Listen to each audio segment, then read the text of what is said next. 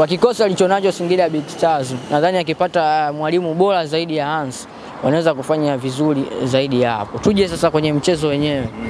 Uh, jana kulikuwa kuna kauli nyingi sana kwamba inawezekana Young Africans wamenunua mchezo dhidi ya Singida Big Stars, lakini ya ya kwamba wamenunua mchezo kutokana na mahusiano ya eneo la uongozi la hizi timu mbili, lakini kwangu mimi nasema hapana. Unajua mashabiki wengi siasa ya Simba na Yanga siku zote eh, uh, ndo ina, in, yani huwa inaamua kujadiliwa kwa michezo mbalimbali ya ligi kuu, lakini kwa mchezo wa jana tukienda kiufundi, unaona Singida Big Stars walizidiwa maeneo mengi sana uwanjani. Kila timu ilianza na mfumo wa 4 2 3 1 Wakati huo eh, fullback kwa Singida Big Stars Paul Godfrey pamoja na Shafik eh, Batambuzi eh, na mabeki wao wakati Biames Kamo pamoja na Ab Abdul Majid Mangalo wote hawakuwa comfortable na mpira. Nikikuuliza ni wakati gani ambao Shafik Batambuzi pamoja na Paul Godfrey walikuwa wanaenda mbele kusapoti timu, kwa sababu nne mbili tatu moja kila siku nazungumza, lazima kuwe kuna ushirikiano kati ya wingers pamoja na fullback. Dario Federico Deus Kaseke utauona wapi ubora wao ikiwa hawana sapoti muda wote e, wanacheza bila mpira. Kwenye eneo la katikati hakuna midfield bora kama midfield ya Young Africans hivi sasa kwenye ligi kuu ya NBC. Unakuwa na mtu kama Yannick Bangala eh, Khalid Aucho pamoja na Faisal Salum ambaye anacheza kama attacking midfielder. Wewe Singida eh, Bruno Barroso mimi sidhani kama ni defensive midfielder halisia japokuwa anatumika kama e, namba sita, lakini kwangu mimi namuona kama ni holding. Namfananisha kama na mtu kama Jonas Mkude, sio yule kwamba ni mchezaji ambaye wa kugongana sana, mchezaji ambaye anacheza kwa space sana, na muda mwingi ambao e, Bruno Barroso alikuwa anapata mipira alikuwa anapiga ile mipira mirefu, mipira mirefu akijaribu kupiga pembeni eh, ilikuwa haifiki kwa walengwa, mpira mingi kwa inaenda nje. Kwa hiyo muda mwingi akawa anacheza pale pale kwenye zoni yake, akiangalia pembeni anampa Batambuzi au anaanza na masenta back. Masenta back wawili BMS Kalmo pamoja na Abdul Majid Mangalo hawakuwa comfortable muda wote, walikuwa kwenye ile pressure kutokana na Fiston Kalala Mayele kuwa eneo la mbele, lakini angalia kikosi cha Young Africans kuanzia Msheli golini alikuwa anacheza mpira center back jana Bakari Nondo Mwamnyeto alikuwa free sana. Uh, mwangalie Dickson Job, Kibwana Shomari kwenye kuoverlap, Joyce Romalisa ana overlap. Kwa hiyo hapo lazima utafungwa tu. Jezi Moroko alikuwa kwenye kiwango bora, alikuwa anacheza kwa spidi nzuri, alikuwa anacheza kwa accuracy kubwa na anafanya maamuzi sahihi sana. Kriston Mayele yupo kwenye target. Kwa hiyo lazima utafungwa na mpira waliocheza jana Young Africans eh, na, na kukumbuka kile kikosi cha FC Barcelona ambacho kilikuwa na Lionel Messi, Luis Suarez pamoja na Neymar. Yaani ulikuwa unaweza ukaangalia mpira ukasema kama wanaachia au mfano mdogo naweza nikakupa the way Lionel Messi anavyocheza. Lionel Messi ukimwangalia unaweza kusema hawa kama mbona kama wanamwachia. Mbona kama wanamwachia wa mkabisa vizuri lakini ni, ni ufundi. Kwa hiyo naweza nikasema jana Singida walizidiwa kiufundi zaidi. Lakini sio kwamba Young Africans waliweza kuifix ule mchezo wa jana. Kuna kitabu kimoja nipitia uh, kinaitwa Philosophy That Changed the Game. Hichi kitabu kilikuwa kinamuhusu kimemuhusu zaidi Pep Guardiola na kimeandikwa na mwandishi mkubwa tu wa vitabu vya michezo anaitwa Miguel Angel Violan. Humo kuna kauli moja niliipenda sana, alisema mpira ni sawasawa uh, na kiblanket kidogo kile kwamba unapojaribu eh, kujifunika ili uweze kukava mwili mzima basi unashindwa. Ukitaka ujifunike mpaka kichwani miguu inabaki nje. Ukitaka ujifunike mpaka miguuni kichwa kinabaki nje. Kwa hichi ndio kilichowakuta Singida Big Stars kwenye mchezo wa jana. Walikutana na mzigo mkubwa, lakini haimaanishi kwamba walifix mchezo.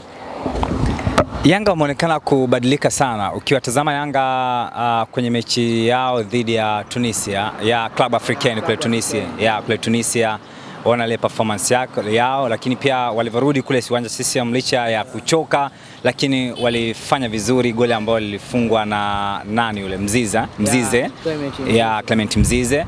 lakini performance ya jana, mechi za nyuma kulikuwa kuna kusuasua. Unadhani nini kimebadilika uh, kwenye hizi mechi za mwishoni? Uh, kitu cha kwanza ni ratiba ngumu ambayo ilikuwa nayo Young Africans na kabla ya mchezo wa jana eh, Young Africans walikuwa wanacheza kimkakati zaidi kutokana na fixture ugumu wake. Kwa hiyo hata ukiangalia kwa statistic Young Africans alikuwa anashinda kwa tofauti ya goli moja kuanzia mchezo dhidi ya Ruvu Shooting alishinda mbili moja, akatoka hapo kwa Simba wakaweza kudraw moja moja KMC akashinda goli moja, Geita akashinda goli moja, dhidi ya Kagera Sugar akashinda goli moja. Kwa ni ratiba ngumu ambayo ilikuwa nayo. Kwa hiyo ukishakuwa na ratiba ngumu, lazima kama, kama mwalimu mzuri uweze kujua jinsi gani ambavyo ya kuicheza ile ratiba. Haimaanishi kwamba kikosi kilikuwa kibovu, hapana, walikuwa wanacheza kimkakati zaidi. E, hata ukiangalia Liverpool walipokuwa wanachukua ubingwa kuna game zilikuwa tough, ratiba ilikuwa ngumu sana kwao, lakini wanacheza kimkakati. Wakisha kufunga goli moja, basi mchezo umeisha. By the way, Young Africans walikuwa wanacheza. Narudia tena, Young Africans kwenye ligi kuu soka Tanzania bara hivi sasa ni quality kubwa. E, Singida Big Stars walikutana na Simba sio kwamba Singida ile mechi alikuwa apotezi. Singida Big Stars alikuwa anapoteza ile mechi, lakini kutokana na quality ya wachezaji wa Simba kwenye eneo la ushambuliaji kuna ubutu mwingi, kama watu kama kina Kip Dennis, nafasi walikuwa wanapata, lakini ndio hivyo kuzitumia. Juzi tu kwenye mchezo dhidi ya Namungo kuna mpira fulani wa cross ulipigwa, lakini Kip D hakuwa mtulivu kwenye lile eneo, lakini juzi mpira ule ule unaofanana uliopigwa na Jezi Moroko kamkuta mtu kama Fiston Mayele akafunga bila matatizo. Kwa hiyo ni quality tu ya wachezaji wa Young Africans eh, ndio inatakiwa isifiwe, itakiwa iongelewe zaidi kuliko kuamini kwenye vitu vingine ambavyo eh, si vizuri kuviongelea kwenye mchezo. Tumalize um, ligi sasa, ishu za ubingwa tuache Yanga, tuseme kama ligi imeshaisha sasa, Yanga ameshakuwa mabingwa. Huwezi uh, ukasema moja kwa moja kwamba Young Africans eh, wameshakuwa mabingwa kwa sababu ligi ni sawasawa na mbio ndefu siku zote, lakini asilimia themanini mpaka hivi sasa naweza kuipa Young Africans, na nilisema kabla hata ya msimu ujaanza kwamba naiona Young Africans ikienda kutoa tena taji la ligi kuu soka Tanzania bara. Kwa nini? E, kutokana na kikosi chao, mwendelezo wao wa kupata matokeo hata kwenye mazingira magumu. Simba Sports wameonekana e, kwenye eneo la wachezaji wanapokosa key players wao kadhaa, basi timu inaonekana ina shake na wanashindwa kupata matokeo. Vile vile Simba imepitia changamoto e, mwalimu wao wa kwanza Zoran Maki kile kikosi alitoa malalamiko makubwa sana kwamba baadhi ya wachezaji yeye hawamfai kabisa kwenye kikosi chake kuweza kumpa e, kile ambacho anakitaka yeye. Uh, Juma Mgunda naye huwezi kumlaumu moja kwa moja kwa sababu naye kakuta wachezaji. Hatuna uhakika wachezaji waliopo, je, ni Juma Mgunda wote alikuwa na mahitaji kwenye kikosi? Kwa hiyo changamoto kama hizo, Matola anatoka tena, tunaambiwa ameenda kusoma, kocha wa magolikipa, fitness coach, kuna timu ilikuwa inakosa kabla ya kumleta kwa hiyo unaona ilikuwa wanapitia changamoto nyingi sana. Kwa hiyo Simba Sports sasa hivi wanachotakiwa kufanya ni kucheza karata zao vizuri. Kama wanaamua kuchagua kimataifa, basi wadili na kimataifa zaidi, na kama wanaamua kucheza e, kwenye ligi kuu soka Tanzania bara zaidi, basi wahamishie nguvu zao kwenye ligi kuu soka Tanzania bara zaidi. Lakini jambo jingine, kuna taarifa zinasambaa sana kuhusiana na Simba Sports Club kutafuta kocha mkuu mpya.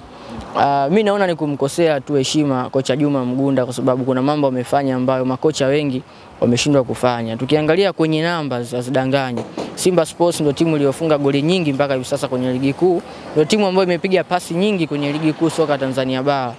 Uh, Simba Sports hadi hivi sasa Mgunda ameiongoza mechi kumi na mbili kwenye mechi kumi na mbili amepata uh, clean sheet tano kwenye ligi kuu. Kwenye hiyo michezo 12 inamaanisha michezo nane ya ligi kuu, ameshinda sita, amedraw mchezo mmoja, amepoteza mchezo mmoja dhidi ya Yanga, na mchezo ambao amesuluhu dhidi ya Yanga, mchezo ambao amepotea dhidi ya Azam, ambazo zote ni timu bora. Uh, vile vile ana clean sheet zisizopungua nane kwenye michezo kumi na mbili na maana michezo miwili ya Nyasa Big Bullet kwenye michezo ya kimataifa, mchezo mmoja wa Primero de Agosto kwenye uwanja wa Benjamin Mkapa.